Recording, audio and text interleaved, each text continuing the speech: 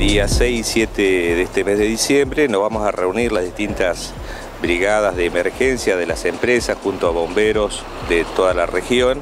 para participar en una jornada de entrenamiento y capacitación en un tema que hoy nos, este, nos interesa no solamente a las industrias, sino al municipio, a los municipios de la zona y a la provincia, que es todo lo relacionado con la seguridad y con la emergencia en temas de escape de, de gas. Este tema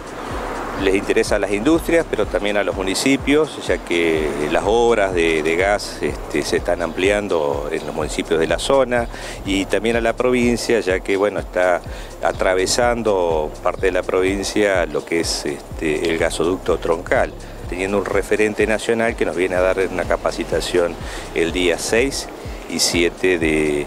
el mes de diciembre. El lugar que nos va a convocar es el predio de la Universidad Tecnológica Nacional y también este, el predio de la Universidad Nacional Litoral va a ser donde vamos a hacer las prácticas, vamos a demostrar la, la destreza y lo que se ha aprendido durante todo el año.